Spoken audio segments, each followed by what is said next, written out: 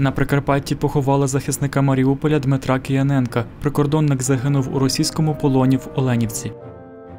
Ми маємо віддавати шану нашим воїнам, які зараз гинуть за нас.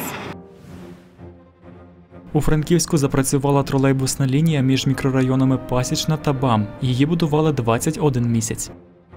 споживання електроенергії у зв'язку з запуском нової лінії ніяким чином не збільшиться.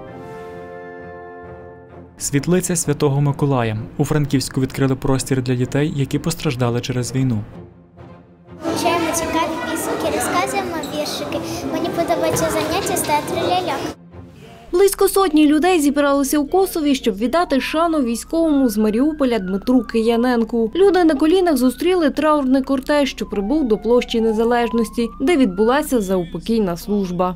Далі траурна колона вирушила до села Рожнів Косівського району, де з березня проживає сім'я загиблого Дмитра Кияненка. Живим коридором мешканці села зустріли загиблого героя. Ми одержали цю звістку таку важку, то не можна бути байдужим, бо такі молоді люди гинуть.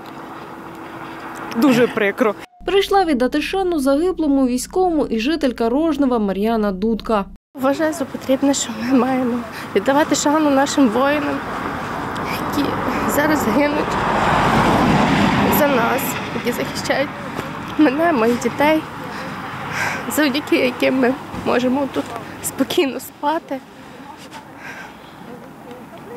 помолитися за них. Тим більше цей чоловік не в себе вдома, він також можна сказати.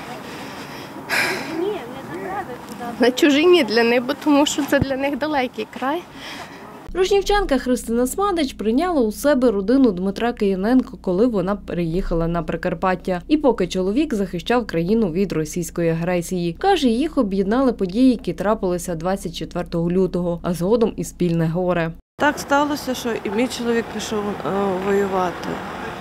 Мого чоловіка не стало 9 серпня. Вони були зі мною поруч. Вони вже жили в мене, в нас точніше. І вони були, е, ми жили разом, все допомагали мені, допомагали, підтримували як могли. А тут 18, 18 вересня і їхнього сина не стало. І вже так сталося, що наше горе, наша біда і людей, яких я не знала зовсім, вони стали для мене рідні.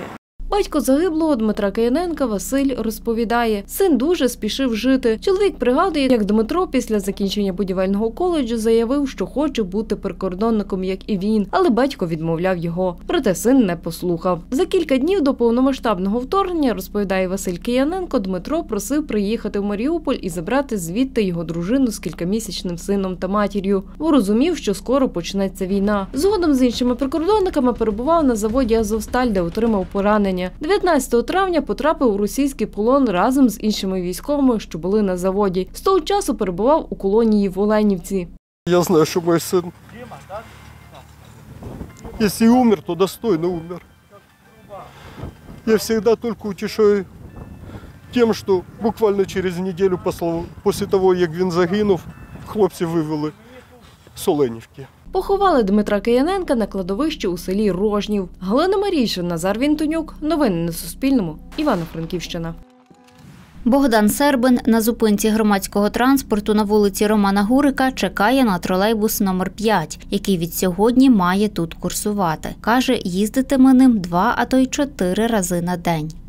Цього тролейбуса чекали дуже довго, тому що я живу в цьому районі, і ми перше дуже раді, що з'єднали два бульвари, зробили єдину лінію між центральною частиною і нашою частиною бульвару. І тролейбус загалом це велика буде транспортна розв'язка. Ще б хотілося в одному напрямку, щоб він виконав це, довершив будівництво моста і запустив ще одну транспортну магістраль.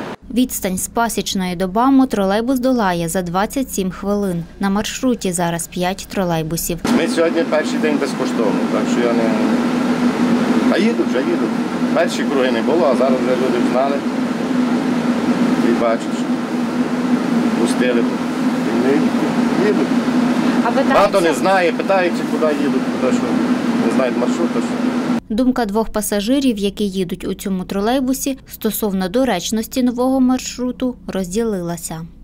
Доволі зручно, а самої пасіч не можна до роботи під'їхати. Я навіть машину вдома залишив, щоб викатати на ньому. А мені не подобається. Я сів в нього, бо я не встиг на 29. Коли у всіх франківців нема світла, у нас запускають тролейбусну лінію. Він завжди негативить, він його не слухає. Ні, я говорю так, як є. Наприклад, в Одесі нема, не курсують транспортні засоби, які працюють від електрики. А в нас курсують, але люди сидять без світла.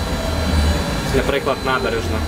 Будували цю тролейбусну лінію 21 місяць. У заплановані півтора роки не вклалися, тому що підрядник із Запоріжжя і були затримки із комплектуючими, розповідає директор комунального підприємства Електроавтотранс Віталій Голутяк. Вартість цього проєкту 3 мільйони євро. Щодо доречності запуску нової тролейбусної лінії у час періодичних вимкнень електроенергії відповідає так. По-перше, вся тягова підстанція вона енергоекономна.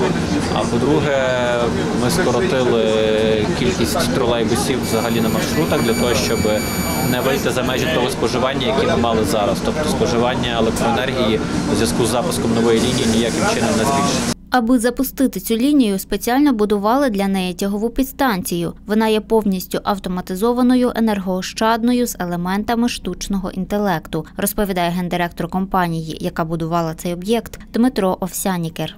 Винахід е, швидкодіючого вимикача, і це і українське ноу-хау, і виробництво українське, і це дійсно те- е, чим наша компанія сьогодні пишається. В Івано-Франківську і надалі розвиватимуть тролейбусну інфраструктуру, розповідає міський голова Руслан Марцінків. Також в планах закупити дуобуси, які їздитимуть як на електриці, так і автономним ходом.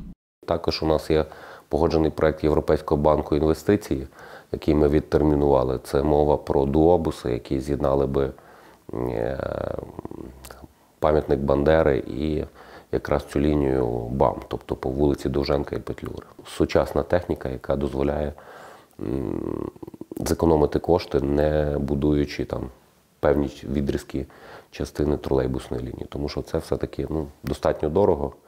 Будівництво особливо тягових підстанцій. 19 та 20 грудня проїзд в тролейбусі номер 5 буде безоплатним.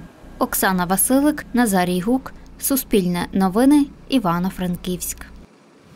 Акторська майстерність, вітражний розпис, кулінарія, стретчинг та перша домедична допомога. Ці та інші заняття безкоштовно для дітей проводитимуть в освітньому просторі світлиця Святого Миколая. До Івано-Франківська такий центр переїхав з Маріуполя після того, як його приміщення зруйнували російські військові. Я е, виходила після повної блокади лівого берега. Е, Це було 15 березня. На той момент тільки повипадало скло з вікон, але вже звісно, що в подальшому це буквально за кілька тижнів я отримала світлини. Ну, спаленої, розбомбленої світлиці. Е, Це те, що зробили росіяни.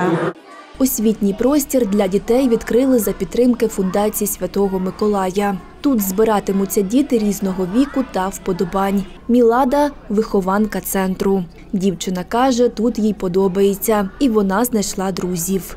Мені більше дуже подобаються заняття музичними, бо там вивчаємо цікаві пісеньки, розказуємо віршики. Мені подобаються заняття з театру ляльок, бо там ми вчимося як справжні актори. Бо там вчимося е, не боятися, розказуємо віршики. Там е, заодно ми промовуємо як звук Р. Для дітей заняття проводитимуть досвідчені викладачі та психологи. Задоволена навчанням у світлиці й Аліна Фастовець. Її донька зараз відвідує тут гуртки. Жінка разом із родиною переїхала до Франківська з Київщини. Це для мене справжнє диво. Е, Це такий осередок добра, е, безпеки, е, такого тепла.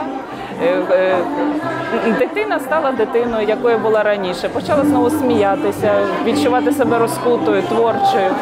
Тут дуже приємна атмосфера, і тут дуже відкриті серця у людей. Вони роблять надзвичайно велику справу. Ми їм дуже дуже вдячні.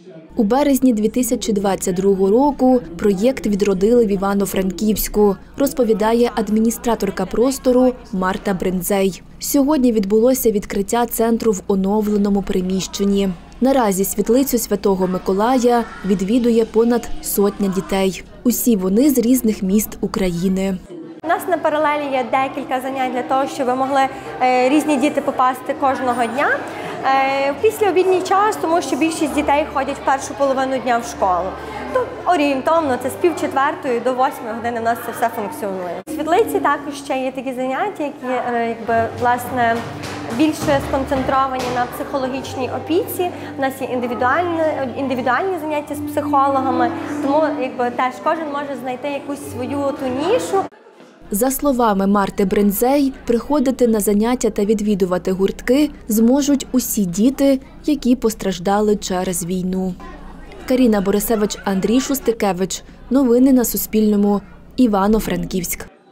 Солодощі, свічки, новорічні прикраси, картини з бісеру та багато іншого можна було придбати під час ярмарку у Крихівцях Івано-Франківської громади. Придбали сердечка. Це з любов'ю від наших бійців на передової. Ми надіємося. І любов від них, і наша любов до них. Придбали свічки святкові, будуть нас зігрівати теплом, і вони будуть теж зігріватися. Ці вироби виготовлені руками жителів села, каже Оксана Олійник. З її слів, сьогоднішній ярмарок шостий, який вони проводять, щоб зібрати кошти на потреби військових. Дівчата печуть е, солодкі, школа долучається, долучаються е, інститут, е, педінститут долучається. Просто мешканці села, хто хоче, хто й приходить і допомагає. Продає на ярмарку вироби вихованців з дитячого садочку, де працює Наталія Кузів.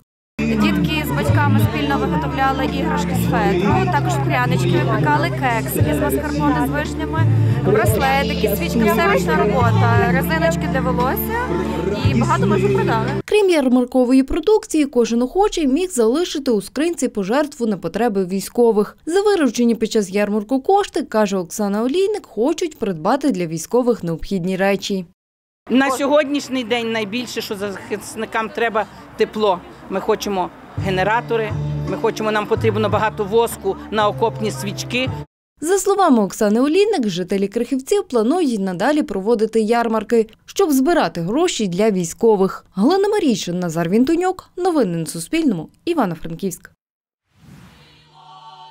Під звуки колядок та українських пісень сьогодні на вічовому майдані у Івано-Франківську засвітили ялинку перемоги. Під час заходу працівники місцевої дирекції Укрпошти та міської ради погасили марку переможного нового року. Цьогоріч ялинку Івано-Франківську оздобили 120 дитячими малюнками на патріотичну тематику.